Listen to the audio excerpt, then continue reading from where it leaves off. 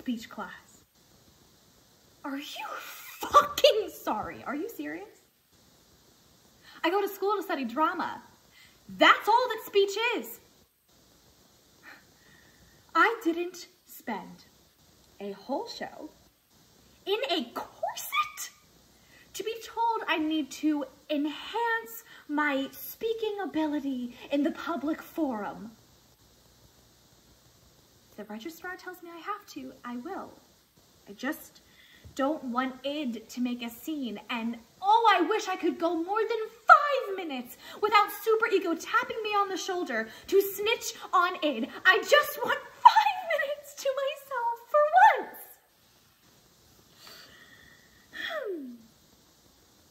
I don't know what the others have told you, but I'm not a control freak, okay?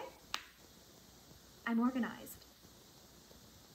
Before I came along, it was like no man's land. Just the two of them yelling at each other day in and day out, and neither one of them coming to any sort of consensus on anything.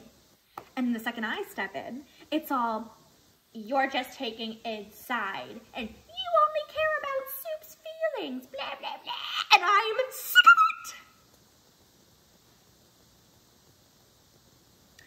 Oh, you know that movie, Inside Out? Okay, yeah, that's how things run around here. Although, tangent, one time, we were, it laughed in the middle of Bing Bong's death scene, and I really had to stop Super Ego from flipping her lid, God. I don't want to be a buzzkill, but they don't understand how to work together. And it's exhausting. But I gotta say, in the moments when we all agree, it's something else.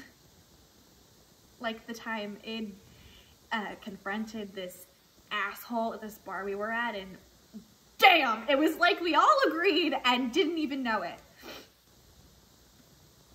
And if I can find more moments like that where we can all agree and we can make more memories like that, I think it's worth the occasional headache of two children screaming at me now and then.